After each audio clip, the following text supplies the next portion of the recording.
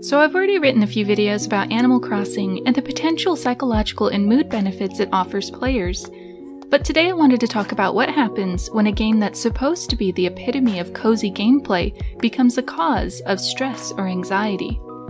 My reviews here on Screen Therapy go beyond analyzing game mechanics or design. I instead focus on what goes on in a player's mind when they interact with the game. Particularly, I focus on positive media psychology and will share with you techniques of positive media literacy that shows us that we can use our favorite games, movies, and other media as tools for mindful mood regulation, self discovery, and even self improvement. From the calming scenery to the opportunities for players to explore their self expression and engage in creative identity play, Animal Crossing New Horizons took the world by storm just as the pandemic hit in 2020 and provided a sweet oasis of positivity and slow, self paced play that helped millions of people regulate fluctuating emotions in the face of a crisis, as well as opportunities to rest, recover, connect with friends, incorporate play into their routines, and invest in a creative outlet during sudden lockdowns that disrupted daily life. But while I've covered the many benefits of the game, I wanted to make this quick essay about the other side of this Animal Crossing coin, and talk about the millions of players who didn't feel those benefits, and they, in fact, felt worse after playing. With the major update and DLC having been released, we're seeing a resurgence of interest in New Horizons. Players are either returning to the game for new content or downloading it for the first time. While many players are having fun with the expansions, many are logging in and have been immediately overwhelmed by all the possible combinations of decor and landscaping. For these players, their islands have turned from a virtual getaway paradise to a yawning pit of anxiety inducing possibilities.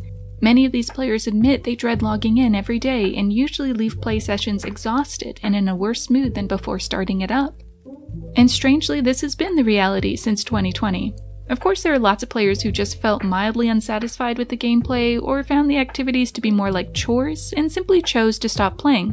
But I'm referencing those who experience significant stress from the game and have even come to avoid playing it at all or play it in cycles of binging and burnout. I'll show you how we can adopt positive media literacy skills to be mindful of our relationships with media, even media that stresses us out, to learn more about ourselves, our needs, and how to adopt helpful media habits that can ease our stress and help us grow our emotional intelligence.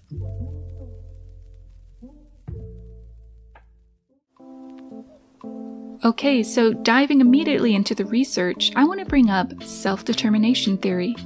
According to self determination theory, we naturally love playing games because they help us replenish one or more of these three basic psychological needs this theory isn't only about gaming. These are three psychological needs that we always have to keep fulfilled throughout our daily lives. Gaming, however, is one way to fill up these needs. These needs are feelings of mastery, agency, and connectedness. Mastery is the feeling of competency in our abilities and skills by overcoming challenges. Agency is a feeling of independence and being able to make decisions for ourselves and meaningfully shape the world around us. This can also apply to virtual worlds, like our Animal Crossing island or villages.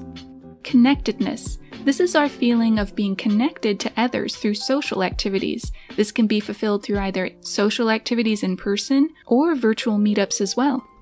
These three psychological needs are at the center of our mental and emotional well being and are connected to our moods and emotional health.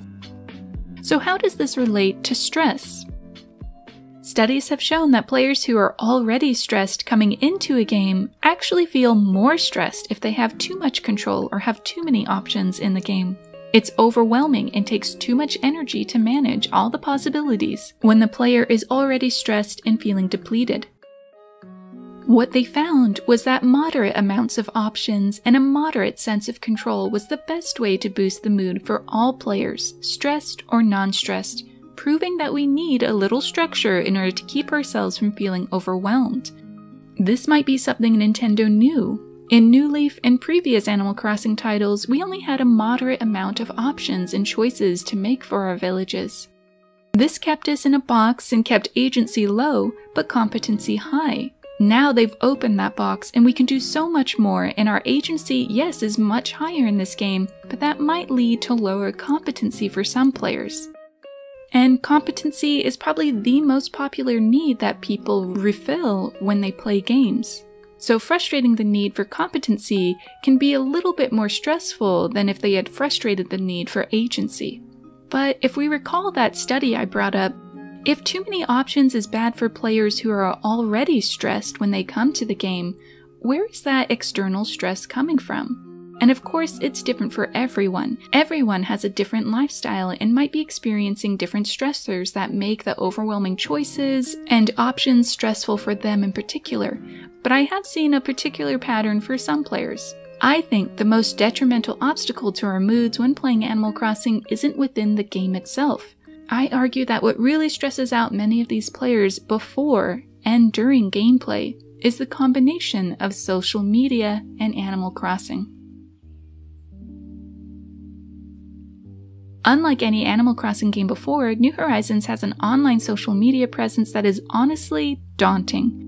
Of course, I'm not just talking about how Isabelle is on Twitter. I mean that so many advanced and extremely dedicated New Horizons players have Twitters, Instagrams, Pinterest, YouTube channels, Twitch streams, and so on.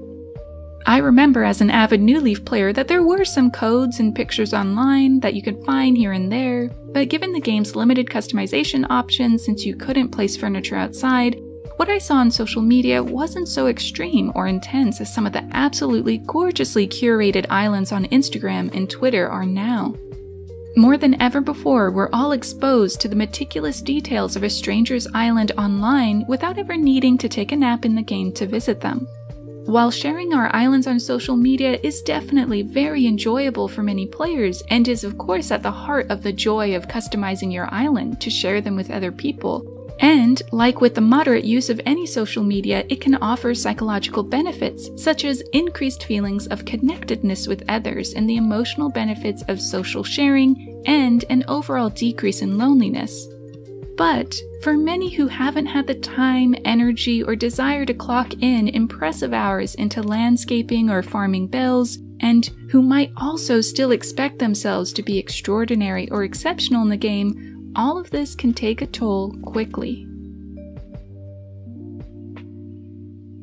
Interestingly, for many of the players stressed out by Animal Crossing, they may be experiencing a similar burnout that people can feel when they engage with what media psychologists call upward social comparisons, which usually take place on social media.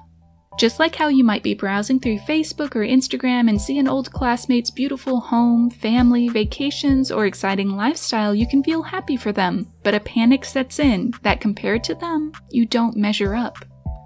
They, in their perfect social media presence, which is edited for our eyes, always seem to be doing something meaningful or exciting while we're lying on the couch watching our favorite Netflix show for the third time.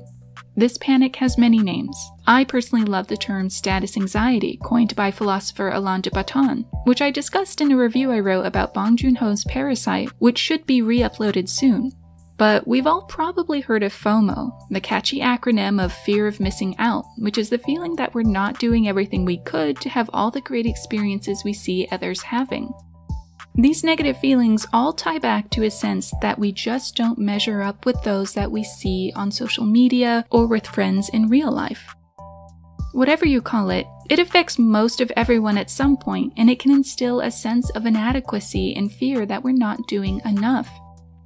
In these instances, media psychologists have discovered that social media's usual benefits are flipped upside down. When you engage in social upward comparisons, instead of feeling more connected to others and less lonely, we actually end up feeling a higher sense of inadequacy, less connected to others, and even lonelier. We feel uniquely lazy and weird for not having the same amazing experiences others share on social media. And it may sound strange, but this exact phenomenon can even happen for a game, like New Horizons. If we value our gaming accomplishments, or if we value being able to express ourselves to others through our digital presence, which is many of us now that we've surrounded ourselves with all these different ways of digital communication and ways to curate digital presences, we can grow to take our digital lives pretty seriously on top of our real lives. In this case, we scroll through our feeds and suddenly we see one of those beautiful or interesting islands. The owner of the island has done amazing things with lighting, countertops, walls, cutout boards, partition boards, and it's all so dizzying. We might first feel inspired thinking, well, if they can do it, so can I, or worse, so should I, and boot up our own game just to be greeted by our unfinished projects and lots of empty land with some haphazardly placed paths and fences. Suddenly, the game doesn't feel that fun anymore, it's stressful. Where do we start? Should we put a bridge here or there? And what about inclines? And where should the houses go? What kind of paths should go here or there? This is when we start to feel like there's only one right answer to everything, and that right answer is what decor would help us compete with those creations we saw online, while of course showcasing our own perfect, unique flair. Eventually, we might try to do something and finish the section of our island, but it gets overwhelming fast and we need to take a break. Or we binge play for 10 hours and finish a section, but might not touch the game again for weeks. From then on, if we're not careful, the game can change from being a source of comfort or relaxation to a source of stress, inadequacy, and the paralysis of overwhelming possibilities. It's very easy to get frustrated with yourself for just not being, quote, creative enough or hardworking enough to take the same resources everybody else had and make something just as interesting or impressive.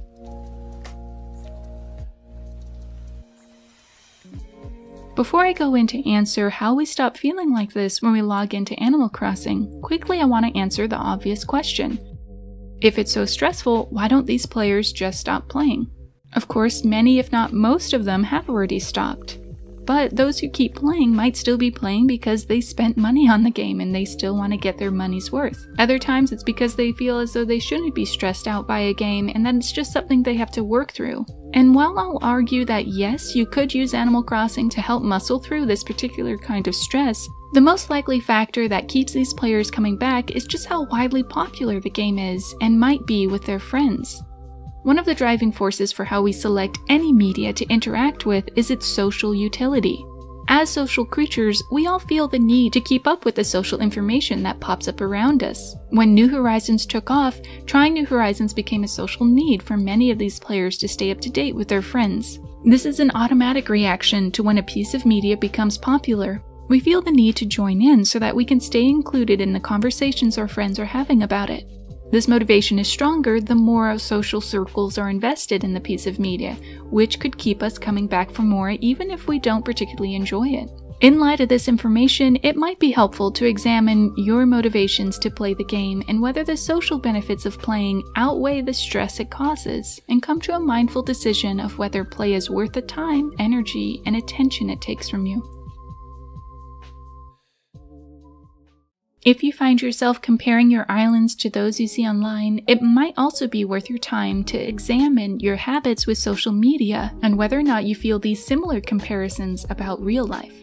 Often, our feelings about life simulation games can be microcosms of how we feel about our lives. If you relate to what's described here and know you have a habit of upward social comparisons that make you feel inadequate, maybe by observing your relationship with New Horizons, you can learn more about your inner self as well. By working to accept your island as it is, it might be good practice for accepting yourself in other ways in real life. And that is what it means to live with positive media literacy to know how to look at our relationships with media and use it as a tool to learn more about ourselves and how to address our emotional or psychological well being. Mindfulness tips. Here are some tips for how to start mindfully understanding your mood shifts using games like Animal Crossing. When these feelings begin, such as the stress or anxiety, how do you usually react in the game? Do you work very hard trying to make something beautiful until you burn out? Or do you feel overwhelmed and start to avoid the game? Just from this, you can start to analyze whether or not you cope with feelings of inadequacy in real life through either perfectionist burnout or avoidance, or possibly a mixture of both. Some might realize that when they compare themselves to someone on social media, they also set up avoidance behaviors to protect themselves, or they might work very hard to gain the same status in real life but exhaust themselves in the process.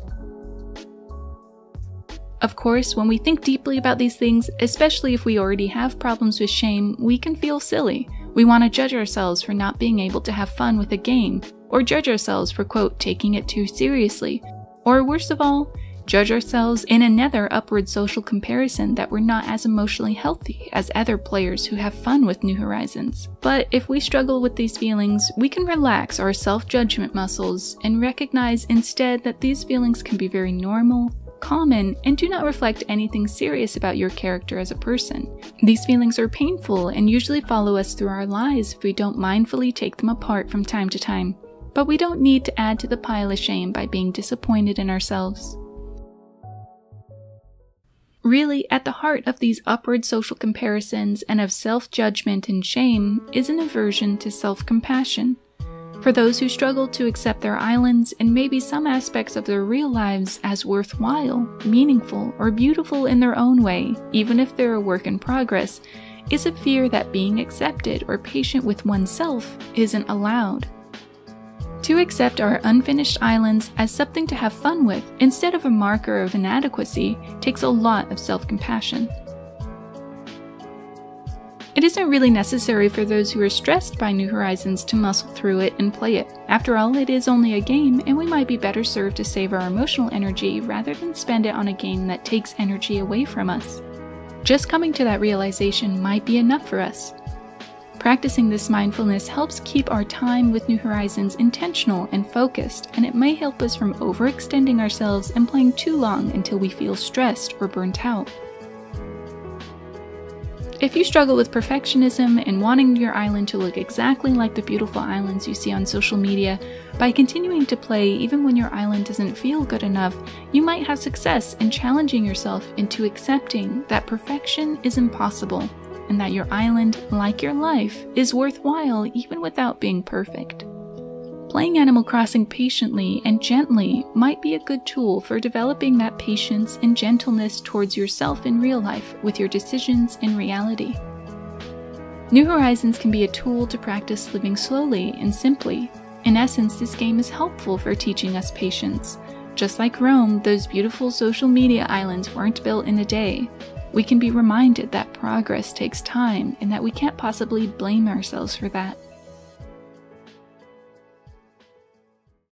We can learn to understand that there is a difference in resources for players. While we all start with the same situations, no matter what, some players have more real life resources that allow them to make extravagant islands. They might have resources like time, attention, energy, and motivation to pour into the game. Those who struggle with perfectionism or low self compassion tend to pressure themselves into being able to do everything anyone can do. But we can slow down and remember that while we can't have 40 hours in our day to do everything we want, that doesn't mean our experience in our game is any less worthy. We can remember the importance of taking the plunge, Many players feel paralyzed by the choices in decorating their islands. They feel as if there's only one right way to live in Animal Crossing, and sometimes also in life. In New Horizons, we can confront the fear of making wrong choices. Expressing ourselves in games like this can be very therapeutic. Little by little, by experimenting with imperfect choices, you can practice accepting that there's no one right way to play or decorate, just as there is no one right way to live. If you never want to pick up New Horizons again, and you know it'll only make you feel awful, but some of these points in this essay rang true to what you were experiencing either in the game or in real life, I'd like to recommend some supplemental learning that has helped me on my journey treating my perfectionism. I recommend looking into Dr. Kristin Neff's resources on selfcompassion.org for the most comprehensive collection of self compassion practices and information. And if you're well versed in self compassion and would like something a little bit more complex and structured, try Dr. Paul Gilbert's compassion focused therapy techniques to learn more about the skills necessary for accepting ourselves the way we are. My last tip is to remember what it means to just play. Whether that's playing Animal Crossing or anything else, as a child we never graded ourselves by how impressive our imagination was. We had one goal, and that was to have fun. All of us who have learned to live in our heads a little too much could benefit from trying to reconnect with the fun, not only in games, but in real life as well. Let's give ourselves a break from our worries that we're not good enough, and practice forgetting the rubric we put on our lives to measure our accomplishments against others. We can all gift ourselves some time in a game, this one or another one, or in real life, to tap into the simple joys of being ourselves just as we are and reclaim some of our energy away from our anxieties. Thank you for watching. If you'd like to see more about video games, movies, mental health, and psychology research, please go ahead and subscribe. Thank you. And as always, happy playing.